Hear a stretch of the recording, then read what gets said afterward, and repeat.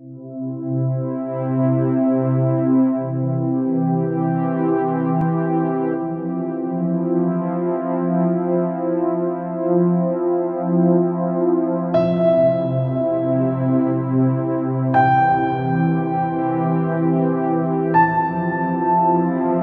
thousand seventeen Audi TT RS Coupe. Audi is sending the most powerful TT ever into the competitive field. Its newly developed five-cylinder engine delivers 400 horsepower, accompanied by unmistakable engine sound. The coupe and roadster are celebrating their world premieres at the Beijing Motor Show.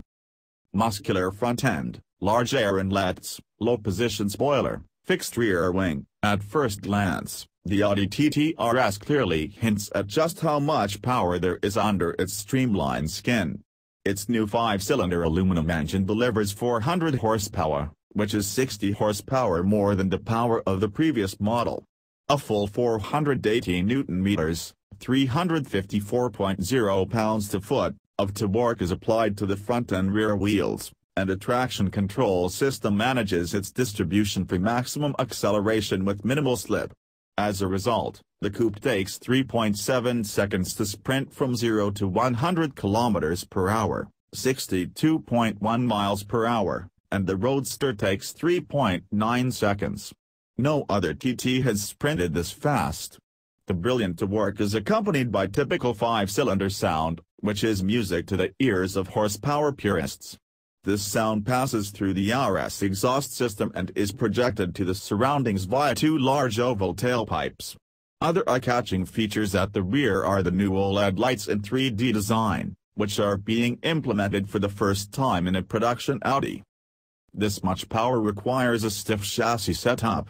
At a height of just 1.34 meters, 4.4 feet, the Audi TT RS is low to the asphalt, and it is both light-footed and under control as it conquers curves. The direct steering ratio gives the driver the feeling of being one with the road. No matter how intensively the driver turns the grease sport steering wheel, the low-mounted sports seat with the strong contours of its side bolsters holds the driver in position. In the Roadster, a switch initiates open-air driving fun. It opens the car's soft top, even while driving at speeds up to around 50 km per hour, 31.1 miles per hour. Inside, the TTRS has an extremely sporty appearance, with aluminum or carbon trim elements and RS logos. As in the Audi R8, the driver starts the engine directly from the steering wheel, a feature inspired by car racing. The vehicle handling system can also be operated from an extra set of satellite controls. If drivers wish, they can modify the character of the TTRS over four modes, from comfort-oriented to emphatically dynamic. The instruments are focused entirely on the driver.